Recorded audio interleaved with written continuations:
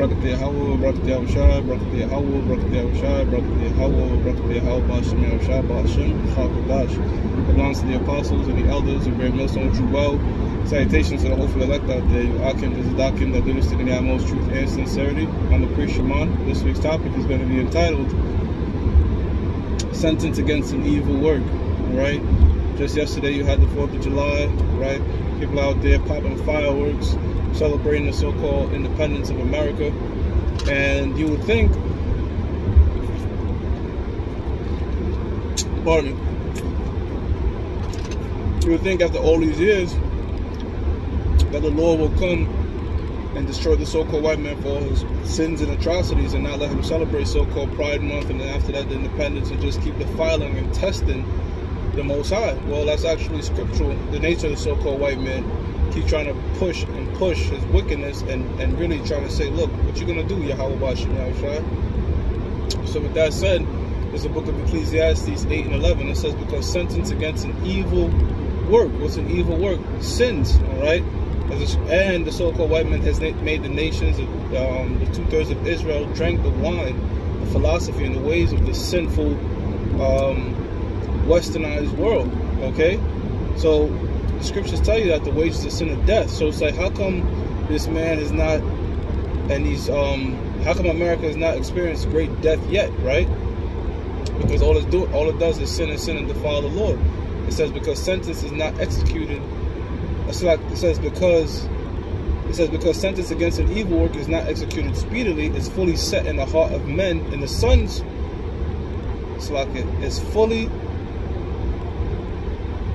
Therefore, the heart of the sons of men there is fully set in them to do evil, right? Because they're not getting the belt to the ass right away, right? Like, you know, if your child was to go off, you know, you beat them, they know right from wrong. But if you, like, you know, not doing nothing to them, they're going to keep doing their wickedness. But you have to understand, the scripture says in the book of Romans 9 and 17, for this purpose have I built thee up. The Most has built the so-called white man up to let him go on with his wickedness and madness, all right? That way, just like how the feds make you build up a case, all right? The so-called um, so-called white man has a long rap sheet with the Heavenly Father. So when that judgment time comes, that's why the scriptures are going to be fulfilled when it says the vats overflow, all right? Because the wickedness in America just keep growing and growing. And you think like, damn, when the Lord going to act? But Yahweh Shem Shai will act. It says, though a sinner do evil a hundred, um, a hundred times, right, they were sin and do evil a hundred times. You have like the uh, Rockefellers, um, Queen of England, a lot of these Rothschilds, they live over a hundred years. Nothing happened to them, you know. They come back in a reincarnation. They think this thing is just gonna go on and they're gonna keep pushing the buttons of the Lord, but there will come a time when Yahweh Shem Yahshua is gonna act, and that time is very soon.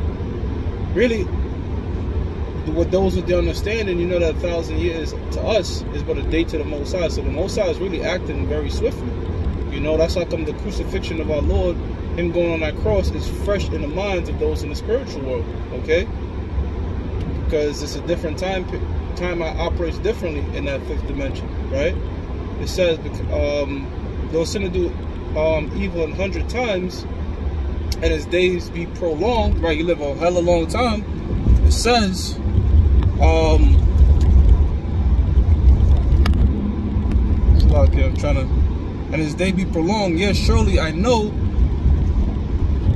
that it shall be well with them that fear the Most High, which fear before Him. Right. So it's better to have um, fear of the Lord. All right. Than to not fear the Most High and, and indulge in sin and all that for a season. That's what the scriptures tell you. That's what these people are doing.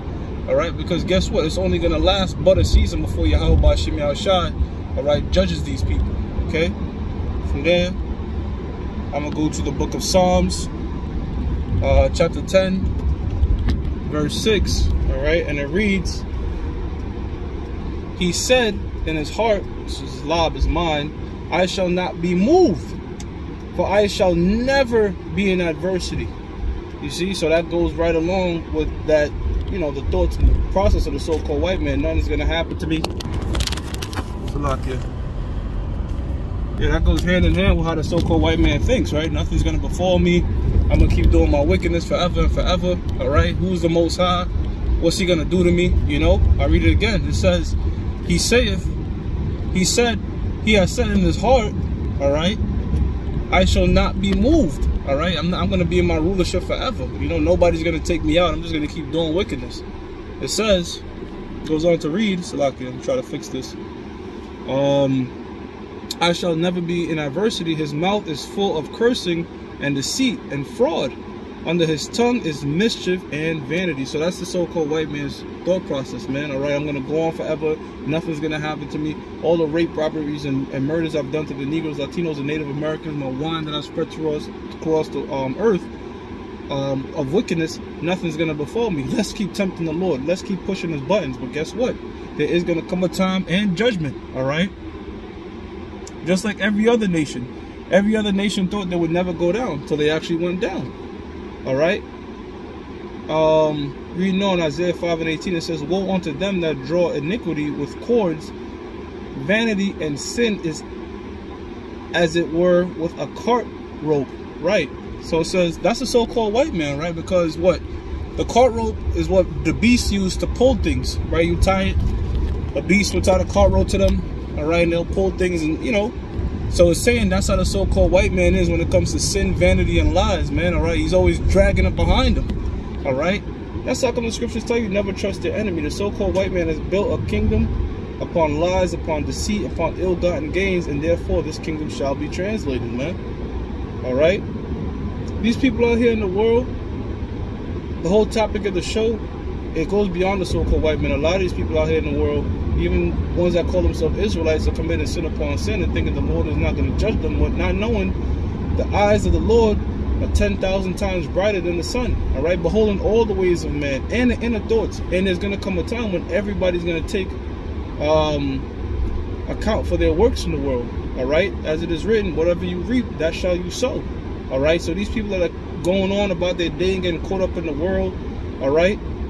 Trying to reap the benefits of the world, guess what you're gonna get um guess what you're gonna end up reaping when it's all said and done? Nuclear hellfire all right? Or some other great calamity you see? That's what's gonna befall those that try to seek the world first instead of the kingdom all right? Because this world is gonna pass and fade away all right? So the so-called white man just had his pride month he done had his independence day you know it's like damn lord you this motherfucker just out here celebrating this shit but guess what? The Mosai is the one that's going to allow this to happen to puff the so-called white man's spirit. Because remember, this man is going to be filled with great fear, but also more pride than anything to fight against the Heavenly Father and His Son himself. Man. All right? He has a so-called God complex. And who's giving him that God, God, God complex? The Most High.